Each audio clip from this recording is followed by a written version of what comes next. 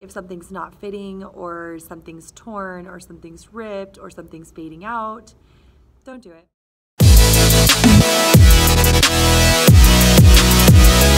I recently saw a pair of my favorite White House Black Market jeggings in my exact size and they were this the exact tone of jean that I was, was looking for and I noticed there was some pulling and some stretching of the material and it looked like it was getting really thin and the material had been compromised by being overstretched. If you've ever seen that like kind of overstretched, um, stretchy jean kind of effect, if you've ever seen that, and not cute. And, and there was a part of me that went, you know what, I think if I wore a longer top over it, you wouldn't be able to see it. But for me, I don't know. I just, it was a pass. The material was already compromised. It was in the crotch area, so not really an easy fix and kind of an obvious um, whoopsies. The first time I tried it on, you didn't notice, I didn't see it, but then I took it off and as I was going up to the counter, I saw it and anyways, for me, it was a pass. There's just so many other things that work. It, obviously, if, if you find a garment that you're really needing, it's a hole in your closet, it checks off all the boxes for you of what you love and what you need, and you're in a spot where that's the budget that you have, then, you know, make it work. But for me, I just hard pass on those. Okay, number three, it has to fit now. Not needing tailoring, not needing, well, if I do this, well, if I take it in here, well, if I let it out there, it might fit. No. Okay, number four, I ask myself this when I'm looking at different items and my shopping cart is my shopping cart is full of all my beautiful treasures I found. I ask myself, would I pay full price for this if I saw it in a boutique somewhere or if I saw it in a department store? Is it that good? Does it fit me that well? Is it in that good of quality? Is it filling a hole that I have in my closet? Or it's just that fantastic of a piece that I've been searching for, been wanting. It's so my style. It's gonna be my style for the next X amount of years. And it's so high quality that I would pay full price for it. And really, if it's not checking off a lot of those things, then I say no because it's so easy to get sucked into the whole mindset of, well, I'm saving money by spending money because I'm getting such a good deal. And that's not true. No, you're just spending money and filling your closet full of things that maybe you don't actually love. And I've been so guilty of that a couple of times. You know, I've found things that maybe just aren't really my style. Like a couple years ago, I went through this this season where I was just loving very East Coast preppy um, kind of Lilly Pulitzer kind of colors and looks and patterns and textures, very, very preppy. And I thought that was my style. And you know, I just had a, my first baby.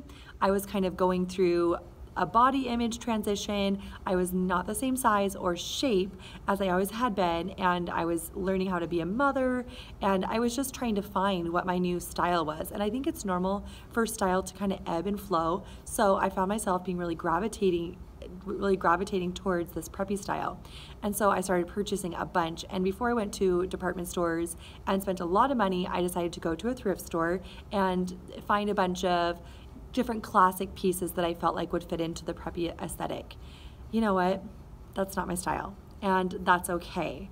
I tried it out. I spent a little bit of money, very minimal. I had very high quality pieces that fit me really well, but I just felt after about one year, I didn't really wear those pieces. I didn't get pulled towards that when I was getting dressed in the morning. I wasn't feeling like me in some of those styles.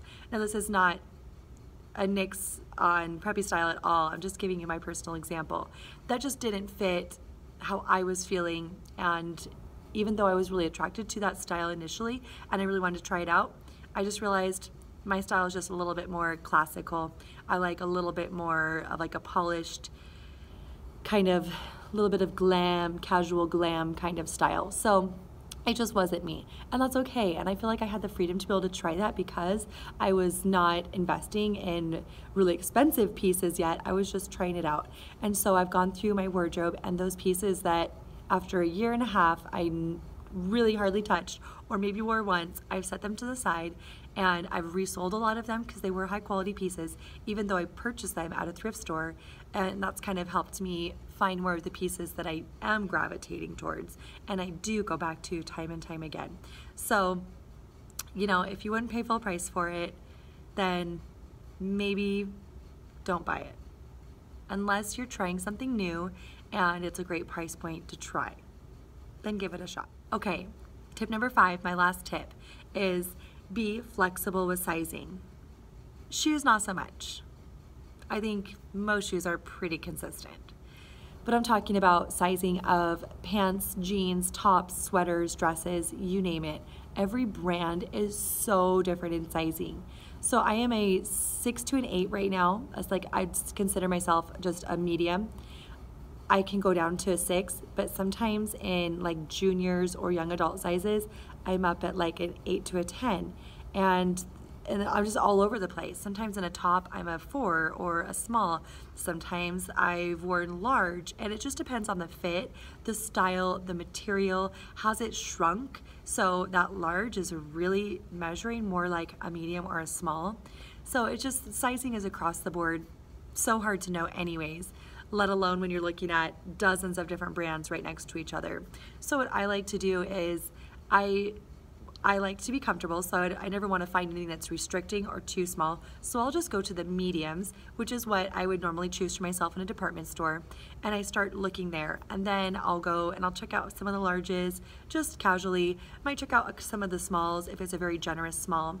Vanity sizing is a real thing, and it does seem like the higher the price point initially, like in a boutique or a department store, the smaller the size. And that's a whole nother topic for a whole nother day but sizing can just be all over the place. So I would say don't limit yourself to just one section of tops or blouses or jackets or jeans or whatever have you. Like with pants and with jeans, yeah, it just vanity sizing is real. And then when you're looking at teen versus women's or misses sizes, that's all different as well. So just be flexible. And like I said earlier, you never know how a garment has been cared for, if it's shrunk, if it's held its size, its, its original size, you just don't know. So I say, like, don't torture yourself. If you know it's not gonna fit, don't put it on. But just take them all into the dressing room and try. You just never know how something's gonna fit until you get it on.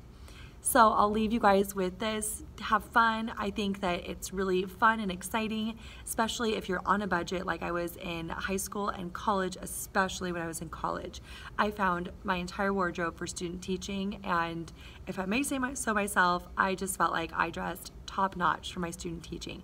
You know, I pulled in some new pieces here and there, and in high school I had a lot of new pieces, a lot of, you know, consignment store, thrift store pieces as well, and just mix them all interchangeably.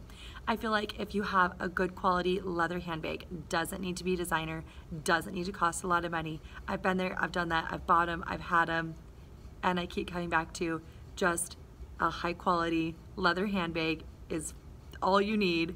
Some really nice high quality leather nice cared for, nicely cared for shoes, jeans that fit you well, professional pants that fit you well, some tops and blouses that are in classic styles, that's your color, that fit you well, that's tailored, that fits your aesthetic and your style, some nice jackets and toppers or blazers or cardigans that can add that piece in, some really nice classic styled dressers, add in a couple skirts, and really focus on those high quality topper pieces like a trench coat, like a blazer, like a wool jacket. So, so with those, I typically do buy those new. Anyways, if you stick with those those kind of pieces and you have high quality, whether you bought them brand new and you spent $200 on your jeans or you spent $12 on your jeans, I wear both and no one would probably know the difference. Same with shoes, high quality leather shoes. I'll tell you guys, my dad is such a shoe snob. He really is. He loves a high quality pair of shoes. And he goes to the department stores and he tries all the shoes on and he buys them and he loves nice leather, really well made, really high quality shoes for men. And he likes it on us girls too as well. But for him, he will spend so much money on a nice pair of shoes. Then he started getting into, you know, some of this like thrift storing like, you know, I have done through the years as well.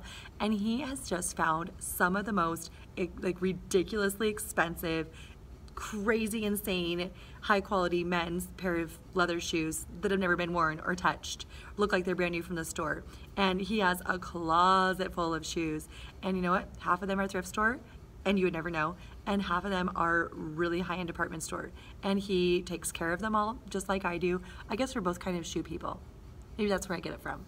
But you would never know. You can find so many high quality things at the thrift store. It's unbelievable. But I like to mix and match. I do a little bit of both. And I, since I know my style, I know my colors, I know what's gonna fit and suit my aesthetic, my personality, my lifestyle, I can mix and match with brand new, high quality, consignment, thrift store, put it all together, and it saves me a ton of money so that when I see that incredible leather purse that I wanna save for, that I have the budget to do that. Or if I need a really specific pair of shoe that I can't find pre-loved, then I can buy it. Or if I find that jacket, that really high quality wool wool blend, winter jacket or fall jacket, I can buy that brand new because I've saved for it. And because my my budget isn't getting sucked up on having to have everything brand new. And there's so many other ethical and environmental reasons as well. But um, but for me, it's just more so a fun game, and I love fashion, and I love finding those little treasures. So good luck to you finding those little treasures. Um, let me know down below if you have any uh, tried and true tips for shopping in a thrift store, secondhand, or anything like that. Um, if there's anything that you feel like I left out that would be beneficial to others, just leave it down below. If you have any thrift store horror stories, I'd love to hear some of those as well. I think if if you've been into a thrift store, you've probably had a couple thrift store horror stories of things that you've found or maybe things that you've purchased that you shouldn't have or what have you. So um, share down below and we can uh, enjoy each other's stories. All right, happy thrift store hunting.